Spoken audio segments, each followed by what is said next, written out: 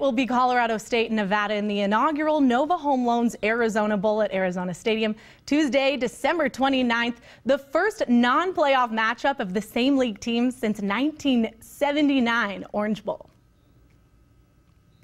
We couldn't be more pleased with the two schools because the they're close, they're within driving distance. In fact, uh, if you look on the social media media from both schools, they cannot wait to get here, especially in December. Uh, the economic economic impact is going to be immense for our city.